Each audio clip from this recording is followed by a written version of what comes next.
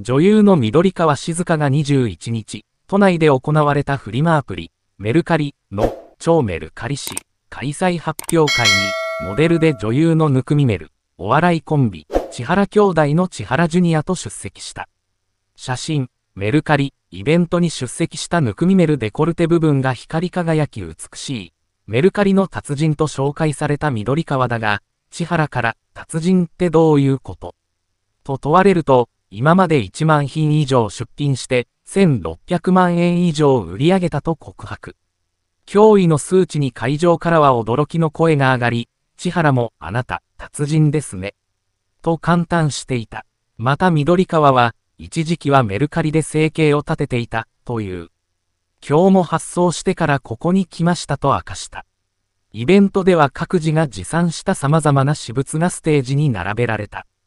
千原はその一つとして、メルカリで購入したというポスターを紹介すると、緑川は値下げ交渉とかせずに買ったんですか？と指摘。千原は値下げ交渉と疑問符を浮かべていたが、もうメルカリでは値下げ交渉が行き交ってます。